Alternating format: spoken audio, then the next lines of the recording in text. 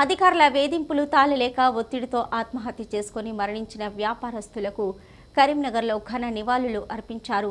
నగరంలోని తెలంగాణ చౌక్లో మంకమ్మ తోట రామ్నగర్ ఆర్యవైశ్య సంఘం ఆధ్వర్యంలో కొవ్వొత్తులతో ప్రదర్శన చేపట్టారు. గంగం పద్మ సంతోష్ అమర్ రహే అంటూ నినాదాలు చేశారు. మేదక్ జిల్లా రామేన్పేటలో ఆర్యవైశ్య సామాజిక వర్గానికి చెందిన గంగం పద్మ కుమారుడు గంగం సంతోష్ అధికారుల వేధింపులు తట్టుకోలేక ఆత్మహత్య చేసుకున్నాడు. ఆత్మహత్యకు కారణమైన వారిని గుర్తించి కఠినంగా శిక్షించాలని మంకమ్మ తోట ఆర్యవైశ్య సంఘ అధ్యక్షుడు జిల్లా అంజయ్య అన్నారు. ఆర్యవైశ్య కుటుంబాన్ని ఆదుకోవాలని రాష్ట్ర ప్రభుత్వాన్ని కోరారు.